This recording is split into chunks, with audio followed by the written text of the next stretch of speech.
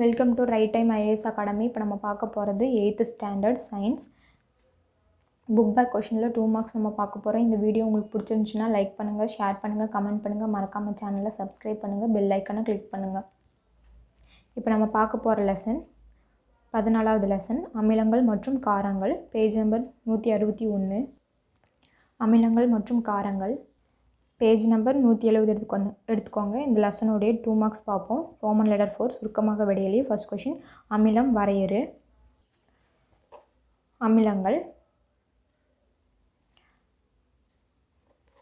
Page number நூற்றி அறுபத்தி ஒன்று எடுத்துக்கோங்க. அமிலங்கள் அமிலங்கள். இந்த ஹெட்டிங் கீழே இருக்கிற பேரா பாருங்கள் அமிலங்கள் என்ற சொல்லானது புளிப்பு என பொருள் பொருள்படும். அதிலிருந்து பொதுவாக அமிலங்கள் எனப்படுகின்றன. இது வரைக்கும் நோட் பண்ணிக்கோங்க. இது ஃபஸ்ட்டு பாயிண்ட்டு அதே பேரால் கீழே பாருங்கள் நீரில் கரையும் போது ஹைட்ரஜன் அ- அயனிகளை அதிலிருந்து அமிலங்கள் என வரையறுக்கப்படுகின்றன. அது வரைக்கும் நோட் பண்ணிக்கோங்க. இது செகண்ட் பாயிண்ட்டு இது ஃபஸ்ட் கொஷினுக்கான ஆன்சர் செகண்ட் கொஷின் அமிலங்களில் ஏதேனும் நான்கு இயற்பியல் பண்புகளை எழுதுக. பேஜ் நம்பர் நூற்றி அறுபத்தி ரெண்டு எடுத்துக்கோங்க. அதில் பாருங்கள் அமிலங்களின் பண்புகள்ன்ற ஹெட்டிங் கீழே பாருங்கள் இயற்பியல் பண்புகள். அதில் பாருங்கள் கீழே ஃபஸ்ட்டு ஒரு மூணு பாயிண்ட் ஃபஸ்ட்டு ஒரு நாலு பாயிண்ட் நோட் பண்ணிக்கோங்க. அமிலங்கள் புளிப்பு சுவை கொண்டவை. அதிலிருந்து அதே பேஜில் பாருங்கள் பொதுவாக அமிலங்கள் திரவ நிலையில் காணப்படும்.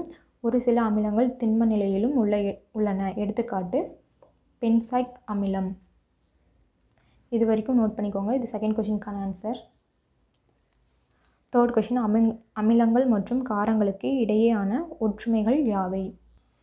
பேஜ் நம்பர் நூற்றி அறுபத்தி அஞ்சு எடுத்துக்கோங்க. அதில் தேர்ட் கொஷினுக்கான ஆன்சர் பாருங்கள் இவை இயற்கையில் இவை இயற்கையில் அரிக்கும் தன்மை கொண்டவை. அதிலிருந்து இவை நடுநிலையாக்கள் வினைக்கு உட்படுகின்றன. இது வரைக்கும் நோட் பண்ணிக்கோங்க. இது தேர்ட் கொஷினுக்கான ஆன்சர் இந்த நாலு பாயிண்ட்டையும் நோட் பண்ணிக்கோங்க. ஃபோர்த் கொஷின் அமிலங்கள் மற்றும் காரங்களுக்கு இடையேயான வேற்றுமைகள் யாவை? பேஜ் நம்பர் நூற்றி அறுபத்தி அஞ்சு எடுத்துக்கோங்க. அதில் ஒரு அட்டவணை கொடுத்துருக்காங்க இல்லையா? அந்த அட்டவணை பாருங்கள் அமிலங்கள் காரங்கள். இந்த அட்டவணை ஃபுல்லாக நோட் பண்ணிக்கோங்க. இது ஃபோர்த்து கொஷினுக்கான ஆன்சர் ஃபிஃப்த்து கொஷின் நிறங்காட்டி என்றால் என்ன? பேஜ் நம்பர் நூற்றி அறுபத்தி ஏழு எடுத்துக்கோங்க. அதில் நிறங்காட்டின் ரேட்டிங் கீழே பாருங்கள் நிறங்காட்டி அல்லது அமிலக்கார நிறங்காட்டி என்பது ஒரு வேதிப்பொருளாகும். அதிலிருந்து நிறமாற்றத்தின் அடிப்படையில் இது குறிக்கிறது குறிக்கிறது. இது வரைக்கும் நோட் பண்ணிக்கோங்க. ஃபிஃப்த்து கொஷினுக்கான ஆன்சர் சிக்ஸ்த்து கொஷின் நடுநிலையாக்கல் வினை என்றால் என்ன? பேஜ் நம்பர் நூற்றி அறுபத்தி ஆறு எடுத்துக்கோங்க. அதில் நடுநிலையாக்கல் வினை அந்த ஹெட்டிங் கீழே இருக்கிற பேரா பாருங்கள் வேறுபட்ட வேதி வேதி பண்புகளை கொண்டுள்ளன. அதிலிருந்து நடுநிலையாக்கல் எனப்படும். அது வரைக்கும் நோட் பண்ணிக்கோங்க. சிக்ஸ்த்து கொஷினுக்கான ஆன்சர் செவன்த் கொஷின் காரங்களின் ஏதேனும் நான்கு வேதி பண்புகளை எழுதுக. செவன்த் கொஷினுக்கான ஆன்சர் பேஜ் நம்பர் நூற்றி அறுபத்தி அஞ்சில் பாருங்கள் வேதியியல் பண்புகள். அந்த ஹெட்டிங் கீழே ஒரு நாலு பாயிண்ட் கொடுத்துருக்காங்க பாருங்கள் உலோகங்களுடன் வினை அலோக ஆக்சைடுகளுடன் வினை தேர்ட் ஒன் அமோனியா உப்புக்களுடன் வினை. இந்த மூணு பாயிண்ட்டுமே நோட் பண்ணிக்கோங்க. இது செவன்த் கொஷினுக்கான ஆன்சர் சுருக்கமாக விடையலில் ரோமன் லெட்டர் ஃபைவ் விரிவாக விடையலி. ஃபர்ஸ்ட் ஒன் அமிலங்களின் பயன்கள் யாவை? பேஜ் நம்பர் நூற்றி அறுபத்தி மூணு எடுத்துக்கோங்க. அதில் அமிலங்களின் பயன்கள் என்ற ஹெட்டிங் கீழே இருக்க பேராவை பாருங்கள் நமது வயிற்றில் சுரக்கும் ஹைட்ரோக்ளோரின் அமிலங்கள் உணவுப் பொருட்களின் செரிமானத்திற்கு உதவுகிறது. அதிலிருந்து பேஜ் நம்பர் நூற்றி அறுபத்தி நாலு எடுத்துக்கோங்க. அதில் தாவரங்கள் ரிபோ நியூலிக் நியூக்ளிக் அமிலத்துடன் ஆர்என்ஏ கொண்டுள்ளன. அது வரைக்கும் நோட் பண்ணிக்கோங்க. விரிவான விடையிலையில் ஃபர்ஸ்ட் கொஷினுக்கான answer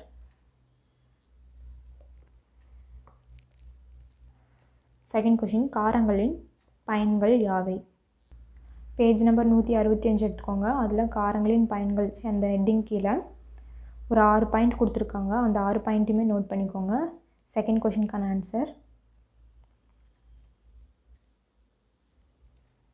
fourth question third question நமது அன்றாட வாழ்வில் நடைபெறும் நடுநிலையாக்கல் வினைகளை விளக்குக.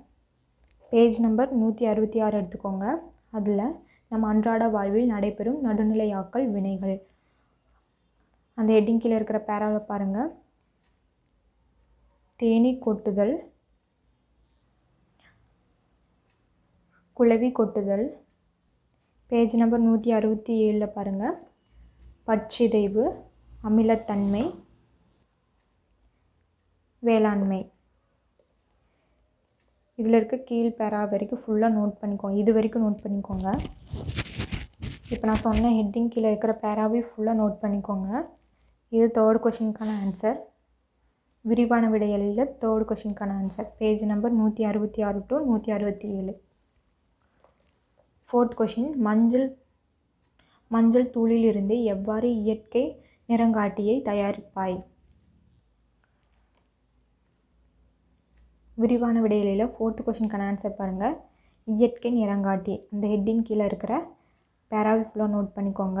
இயற்கை நிறங்காட்டி என்பது இயற்கை மூலத்திலிருந்து பெறப்படும் வேதிப்பொருள் ஆகும். அதிலிருந்து நான் சொல்கிற ஹெட்டிங் நோட் பண்ணுங்கள் மஞ்சள் நிறங்காட்டி பேஜ் நம்பர் நூற்றி அறுபத்தி எட்டில் பாருங்கள் கார கரைசலில் அது மஞ்சள் நிறத்திலிருந்து சிவப்பு நிறமாக மாறுகிறது.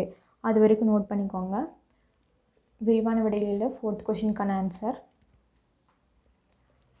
ரோமன் லெட்டர் சிக்ஸ் உயர் சிந்தனை வினாக்கள். ஃபர்ஸ்ட் கொஷின் வினு பாலன் மற்றும் பிரியான் பள்ளியில் மதிய உணவினை எடுத்துக்கொள் எடுத்துக்கொள்கின்றார்கள். வினுபாலன் எலுமிச்சை சோறும் பிரியன் தயிர் சோறும் சாப்பிட் சாப்பிடுகிறார்கள். எலுமிச்சை சோறு மற்றும் தயிர் சோறும் இரண்டும் என்ன தன்மை உடையது அந்த சுவைக்கு காரணம் என்ன? சிந்தனை பண்ணால் ஃபஸ்ட் கொஷினுக்கான ஆன்சர் நோட் பண்ணிக்கோங்க. இல்லைனா ஸ்க்ரீன்ஷாட் எடுத்து வச்சுக்கோங்க. அதில் ரெண்டு பாயிண்ட் இருக்குது எலும்பிச்சை சோறு மற்றும் தயிர் சோறு இரண்டும் அமிலத்தன்மை கொண்டவை ஆகும். அடுத்தது செகண்ட் கொஷின் செகண்ட் பாயிண்ட் எலும்பிச்சையில் உள்ள சிட்ரிக் அமிலமும் தயிரில் உள்ள லாக்டிக் அமிலமும் புளிப்பை புளிப்பு சுவைக்கு காரணமாகிறது. இது சிந்தனை வினால ஃபஸ்ட் கொஷினுக்கான ஆன்சர் நோட் பண்ணிக்கோங்க.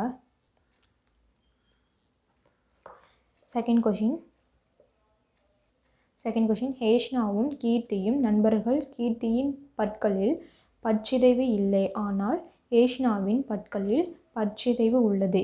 ஏன்? எத அது எதனால் பற்சிதைவு ஏற்படுகிறது? சிந்தனை வினால செகண்ட் கொஷினுக்கான ஆன்சர் நோட் பண்ணிக்கோங்க. அதில் ஒரு ஃபோர் பாயிண்ட் கொடுத்துருக்காங்க. சர்க்கரை பானங் பானங்கள் மற்றும்